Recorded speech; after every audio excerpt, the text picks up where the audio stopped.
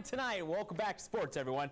I'm Dan Toth. Woodrow Wilson has advanced to the state tournament in 17 of the past 18 years. The Eagles also know how to win once in Charleston. Four straight, in fact back in the late 50s. That's a lot for any opponent to digest. Let's see if fellow Southern West Virginia power Greenbrier East is up to the task. Crazy beginning to the contest. Both teams show up in their visitor jerseys. Eagles are the home team. Refs assess a technical for all five starters. Spartans up 9 zip after freebies and a quick bucket, but by the fourth, there's Ryan Powers for three. 59-51. Woodrow's come all the way back. Here comes Greenbrier East. Travis Butts off the steal ahead to Jalen Walker. What a night from the super sophomore. Game high 27.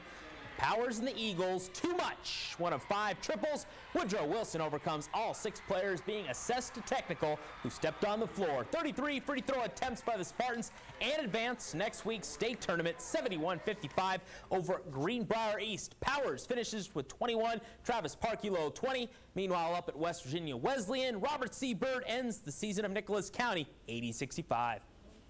People didn't think we was going to make it, and here we are. They thought East was going to knock us off, so here we are. We're going to state. It's always about the team. I mean, my guys just they hit the open guy every now. I mean, hit the open guy, and it's just how it plays out like that. So